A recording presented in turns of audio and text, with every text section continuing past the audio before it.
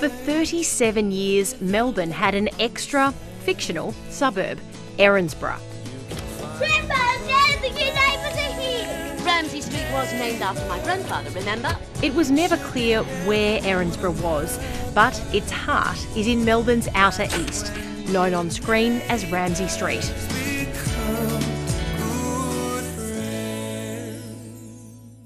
Well, here we are on Ramsay Street itself. Let's just take a quick look around the street. The weather is absolutely ghastly.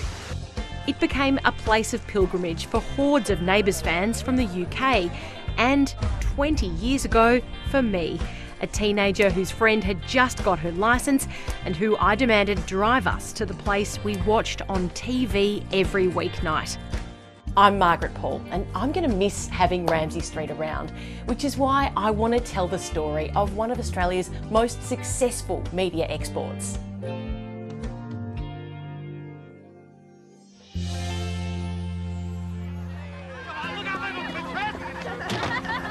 Neighbours set rating records, launched some of Australia's biggest stars, So what are you going to do? Chuck it all in? Filmed nearly 9,000 episodes, including 63 weddings, Mr. and Mrs. Jarrod Rebecchi. 20 births, He's a boy. 68 deaths, including shootings, poisonings, and a plane crash. We run out of fuel. And most of all, the show kept a lot of people in work in an industry that is notoriously boom and bust. Coffee? Cappuccino? It'll be very emotional. Um, I think we're all we're all preparing for it now. It's incredibly sad because it's, you know, like, I suppose you could equate it to like when you finish school and, you know, you got all your friends all in the one spot and then, you know, you're you're not going to see them again. I love Neighbours and I love everything it's given, not just me, but given Australian television and Australian culture in general. I, I think it's one of the greatest things we've ever produced as a nation, and I'm deeply sad that it's gone. I'm going to be really, really sad because I think it's it's it's one of those things where you just feel like it will always be there. What kind of neighbourhood is this?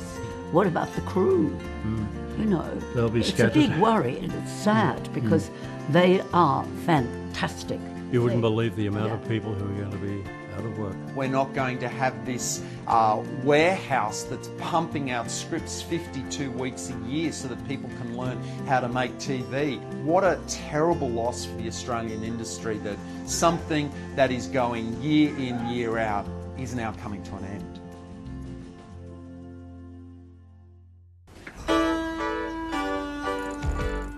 Neighbours made its first appearance on our screens on March 18, 1985, and right from the start revolved around the lives of the residents of Ramsay Street. You're going to be our neighbours and we're going to live happily ever after. Yeah.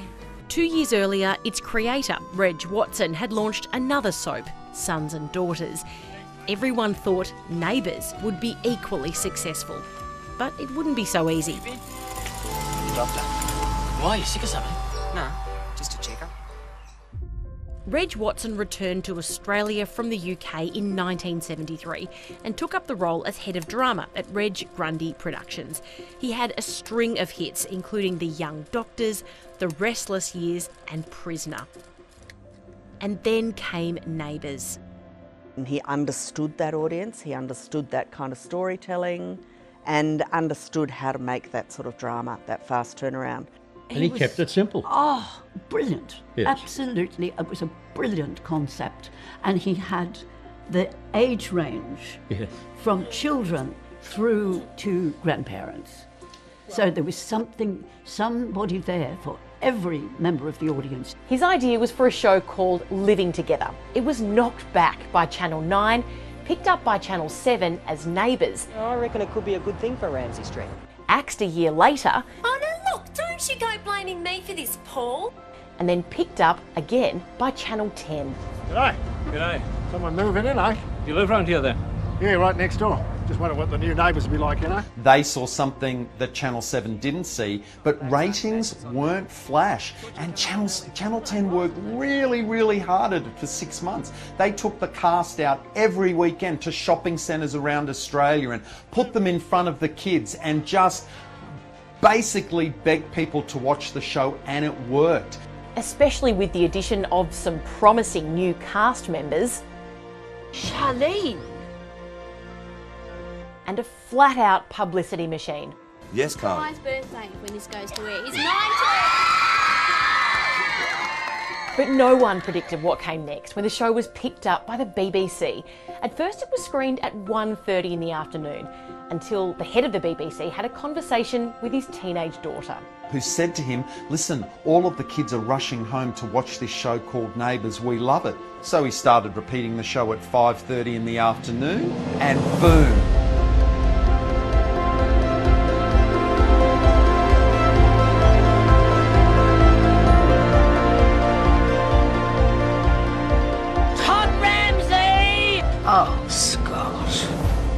You know, when Neighbours started in the UK, that was kind of at the tail end of Margaret Thatcher's reign, and I think it was a pretty dreary place. And along comes this kind of burst of sunshine, this happy go lucky Australian show with people who live in beautiful houses with huge backyards and all this space to go outside and play cricket in the street all year round. You know, you've got the, the accountant living in one house and the plumber next door is the one with the swimming pool. Yes. You know. It, it reflected everything that the English the Thought English about Australia. Thought about Australia. Yeah. And they loved to live next door to their doctor, neighbour, and call him by his first name. That's unheard of. Yeah. Unheard of over there. Harold, please. Oh, I think Mr. Bishop will suffice. We don't want the neighbours gossiping, do we? Oh, oh, you're right, of course. I think most Brits watching that were kind of like, whoa, well, I like that. You know, I want to go to Australia now. So I think that was part of some of the original appeal of Neighbours.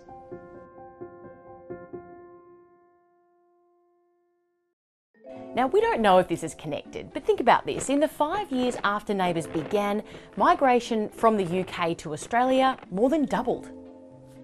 I have a cousin from Dublin who lives in Canberra, and his mum has just been visiting, and we all got together. And she said that she blames neighbours for a lot of Irish people choosing Melbourne, choosing Australia as a destination, including her son, who's now married to an Australian girl. We didn't know how popular it would be in the southern parts of Australia. Once you get a taste of it, you can't get enough. Catherine Murphy is my friend and colleague in the ABC Melbourne newsroom, a city she chose in part because of her obsession with neighbours as a kid. It never rained. Everyone had a pool in the back garden. Everyone went to Lassiter's for coffee. There were no umbrellas. And where I lived, there was a lot of umbrellas. So it was just that beautiful lifestyle that you love to watch. Satisfied? By 1989, this show was pulling in 20 million viewers every day. Heard any more from your superstar boyfriend? Break off, Sue. I'm sorry if I sounded bitchy. I mean, it isn't everybody who gets to Booth Grand Kenny for the night. It's bizarre to think about Neighbours going for as long as it has because when you break it down, the premise of the show is a dead end street. Well, originally it was written for kids. Originally. Now it's murder, Oh, threesomes. threesomes. Uh, yeah. What's wrong it's a with whole threesomes? lot of stuff. That... okay. Whatever floats your boat. Voila! Oh, Clive, cover them up, please. They're disgusting. Oh, don't be so stuffy, Madge. Well, no one swears in Neighbours, so you have to be imaginative about your swearing to the extent that when we introduced um, Stingray Timmins, one of Toadie's young cousins, who was quite a long running, much loved character, um, the in house team at the time devised an entire sort of vocabulary of non swear swear words for Stingray to use. And while it's produced its fair share of megastars, for many others, it's just been a really regular source of work. We produce two and a half hours of television in a week, um, and we do it, you know, for 48 weeks of the year. It is a very efficient machine for making television. We should stay and watch. Might learn a thing or two. So you almost start the week with a kind of grid of knowing which stories you've got to pick up from last week and which sets are going to be really important. So you know which ones you want to use. And which actors you need in which episodes and who's got to cross over with who. You're an idiot. You're an idiot. Hmm. Hmm. It means that you get very strange things like people break up in the pub. Sheila! And you go, why would they do it in the pub? You go, well, because we had that set. Um, Listen to me, I live here. This is my garden. I don't want you anywhere near it. I'm trying to help. No, you are not. I always think of it as a, as a fast moving train. And every week, five episodes are plotted, five episodes are first drafted, five episodes are you know, second draft, five episodes are in pre-production, five episodes are being filmed, five episodes are in post. What are you doing here? None of your business? At least two crews going, um, one usually in studio, one usually on, on location, sometimes a third crew. And that machine just rolls and rolls and rolls and rolls. Sometimes, if an episode was running short for any reason, then you'd have to write what we called a filler scene. And a filler scene was just something where you literally got a call from studio saying, We've got these actors, we've got this set, and we need it in two minutes because cameras are ready to roll. And you'd sort of go, Okay, I better think of something. They kissed. And it wasn't just a peck on the cheek, it was a full blown pash. When you're shooting this week's and part of last week's and part of next week's, your continuity gets a bit fuzzy. Uh, but you do get through it in there, doesn't it? Yeah, you, you, you get a bit. Mm, Dementia sets in. yes, yes. What's really special about Neighbours is the number of people who were fans of the show at school who went on to get their first job there. I got home one day, I was in year 11, and my mum said to me, Someone from Neighbours has called you. Uh, and he said to me, You've got some good ideas. When you finish school, maybe there'll be a job for you. For the new audition in Ramsay Street. Do you think that Neighbours gets the respect that it deserves? There are people who will snigger a little bit, but by gee, I bet they'd pick up a 20 year contract. Channel 5 have been quite upfront about the fact that they're not axing neighbours because of declining ratings, they're because there's still over a million people who loyally have watched Neighbours uh, every night. The reason that Channel 5 say that they're cancelling Neighbours is that they want to spend the money on making more UK productions. 1690, episode 887 from take one. The final shoot is just weeks away. This is my first and last chance to see the Neighbours backlot. Oh my goodness, look, it's actually Lassiter's. Any Neighbours fan knows what Lassiter's mean. There's obviously Paul Robinson's Hotel Empire, and every Neighbours fan has got their own memories of storylines that have happened here. Sorry, Rochelle, did you want something? No, it's fine. Ty and I used to share it. This is the outdoor set of Neighbours, and it's actually smaller than it looks like it is on television. But this is the entire Erinsborough community. Just how the hell are you out? The, the hearing was brought forward. Yeah? Because this is all about revenge, isn't it? This is about making the people suffer who put you in jail. But then next door to that, we've got the Rebecchi Law Solicitors. If you wanted to come and have a chat to Cody about your family law issues or not going to court. I'm back. I thought you might be. Well, across here we've got Erinsborough Real Estate if you wanted to buy into this booming market. You've got the Waterhole down there if you wanted to catch some live music or grab a beer. An exotic dancer at the Waterhole. Have you lost your mind? And this is Harold's Cafe. You probably remember this place as the coffee shop. Yes. It's nice to see that Harold's left his mark. So you could sit outside, have a little cappuccino, maybe have some fried chicken waffles. Let's see if the door's open and see what we can find inside. Oh, yep. So it is just this is just a set. So obviously the um, the Harold's Cafe interiors are shot elsewhere, but this is the exterior of Harold's Cafe. When the show decided to renovate its backlot, it turned into one of Neighbours' biggest moments. A cliffhanger season finale with the return of supervillain Paul Robinson. There's been a big explosion. There's a guy been blown off his feet. So, huge day in the writing room when they came in and said you can burn down Lassiter's. We were like, oh, oh my God, it's like a gift.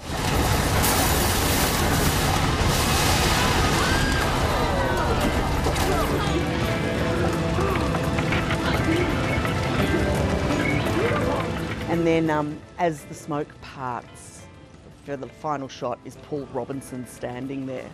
And it was just, we all, we'd written it and we still screamed when it happened, when we saw it on screen. And one of my students just the other day said he remembers that so clearly as a child, because his mother was such a fan. And he remembers just hearing her scream, It's Paul! Oh my God, it's Paul! But doing big scenes on a soap opera budget is not easy. The day you disappeared.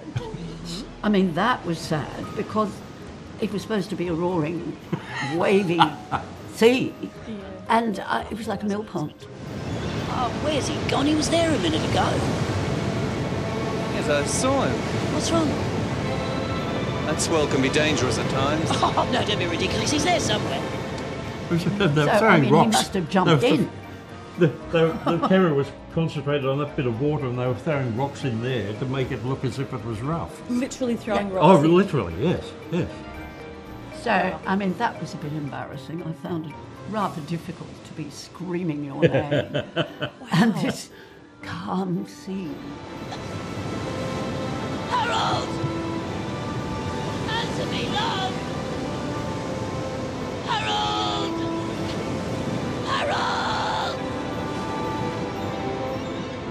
Looked as if he committed suicide. Yes. Really. Instead, I just walked to Tasmania. He did? Yeah. Negative, negative. We will not make Stanley. We have not enough fuel. I was involved with the neighbours plane crash, which I don't think we would get away with now. It was, um, we had to cull some cast, basically. We had a situation where we had too many cast, and so we had to kill some off. We thought, plane crash. Let's do a plane crash. That's great. We run out of fuel. We crashed him into Bass Strait. Bass Strait was the, the Man O Man pool. I don't know if you remember Man O Man with Rob Guest pushing the dating show, pushing the guys into the pool. That was where we filmed it. So the Man O Man pool stood in for Bass Strait.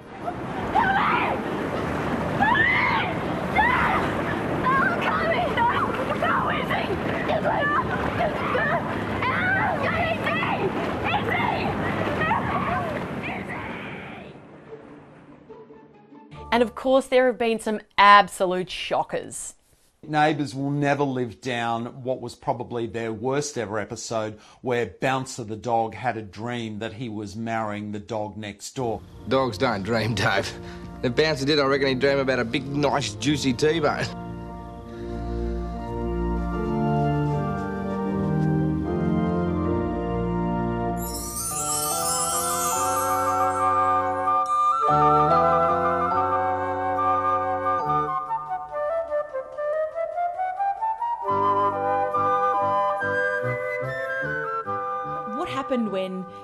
Got the script? Was there a bit of a like, Awful. I really, really said, You've got to be joking. I really said that. I went up to the front office. I said, please, come on. Oh. Anyway. He was such a lovely animal, he He deserved was. better. He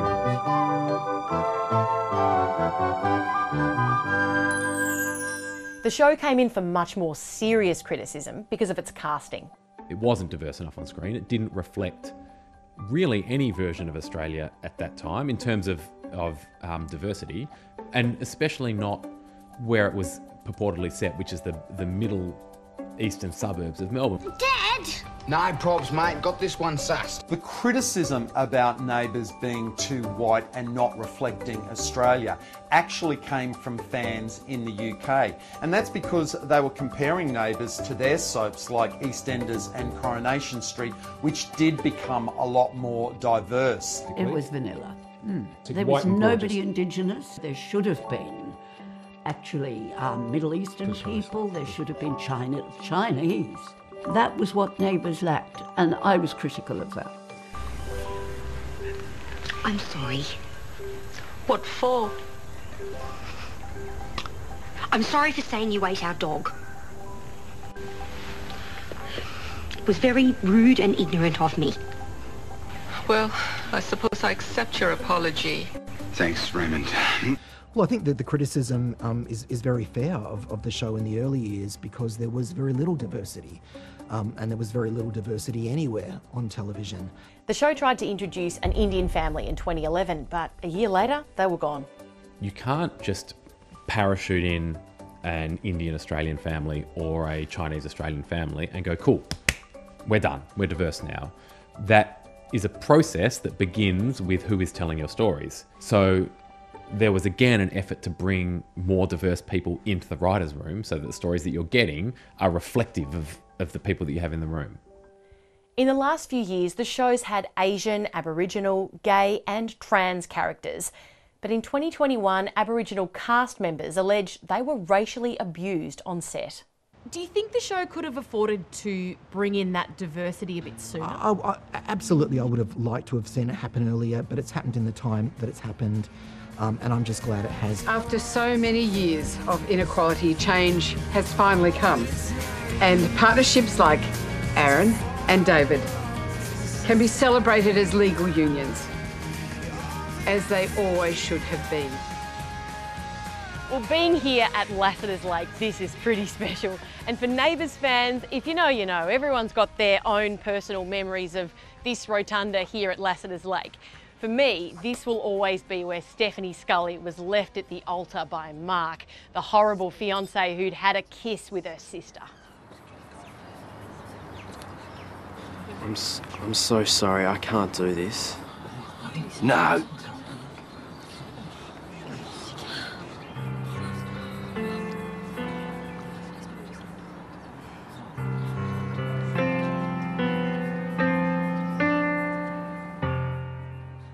Diabolical things to them all. Um, Carl had another affair. He left Susan for Izzy. Well, you have spoilt my life. You have destroyed my happiness. And I am not understanding. From now on, Carl, expect nothing from me but hatred. I hate you. Um, well, we killed Madge. Oh, have you, my darling? Killing Madge. I, I actually still feel really guilty about it because she was an icon, that character, a total icon. If that you wasn't worth thinking about. It was a mutual arrangement. A full, a full, yeah. They wanted rid of me, and I wanted rid of Yeah, them. but if it ain't broke, don't, you know. Go to Paris. Go me. The producers came to us and said, okay, Anne's leaving the show, um, you can write her out and you can actually kill that character off, which is an exciting day for writers, very exciting day for writers. Yeah, it was a pretty Oh, um, it, it was death of an icon. emotional week, really. It was difficult to play, but it was very rewarding. Yeah. And I was very thrilled with the way it was written.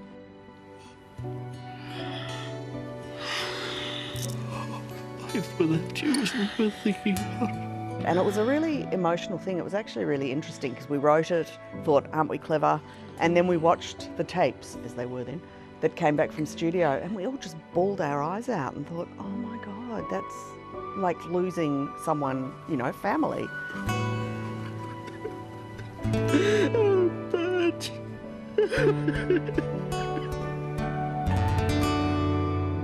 And I actually had the experience that many years later, when I was over in Europe, I was at a party in Amsterdam, was chatting to some people. One of them was Australian.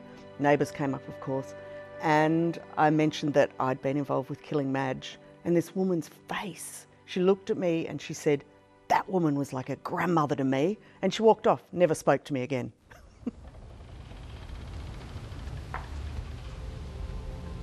But nothing would ever top this moment.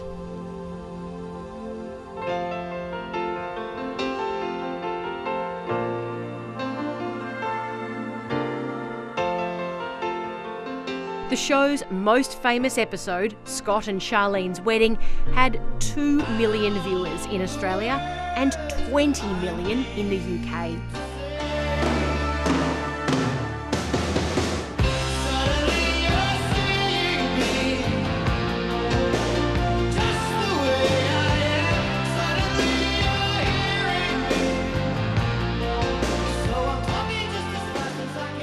I'll always remember Charlene walking up the aisle in that dress, which was stunning at the time. It was definitely a dress of the time, but that really emotional song. And you literally, if you didn't know how to talk about that wedding at school the next day, you had nothing to say in the playground. Charlene, you're okay!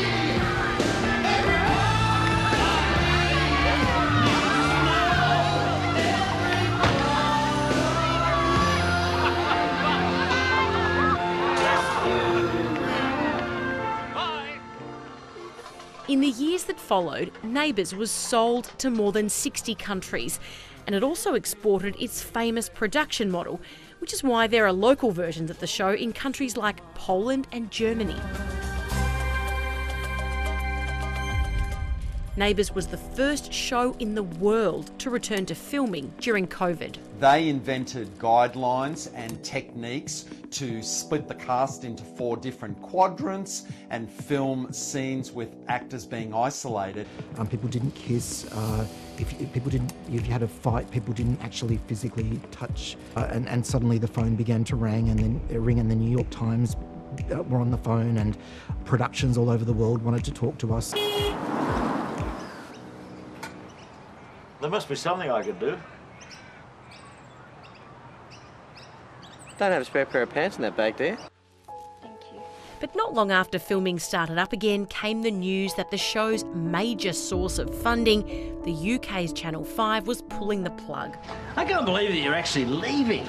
Oh, I'll be back soon enough. You know me. So, what was it that finally killed off Australia's longest running drama?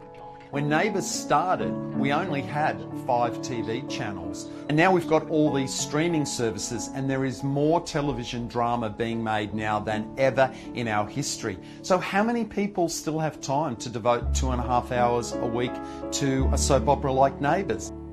But you know what the big question is?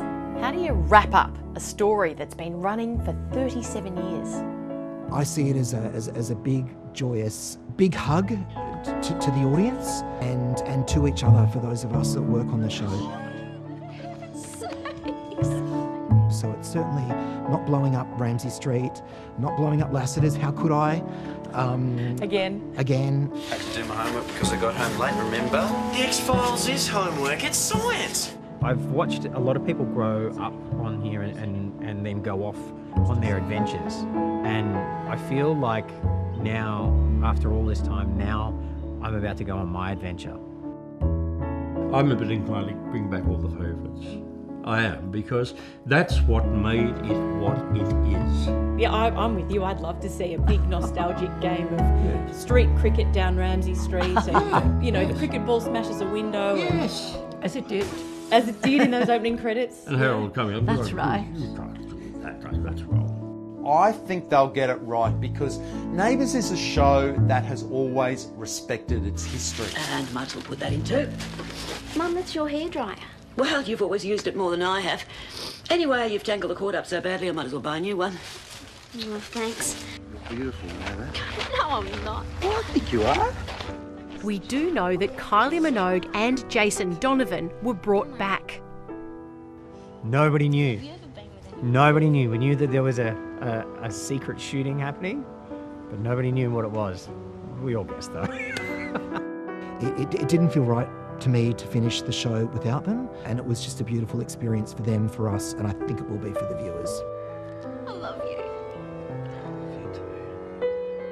I would probably end it fairly sentimentally, I have to say. I would, you know, have Harold return in his caravan and drive up the street and have dinner with Susan and Carl and put the bins out. Something as simple as having a cup of tea and one of them walking out the door and saying, I'll see you tomorrow, and closing the door and the lights turning off, to give the sense that this suburban life will continue.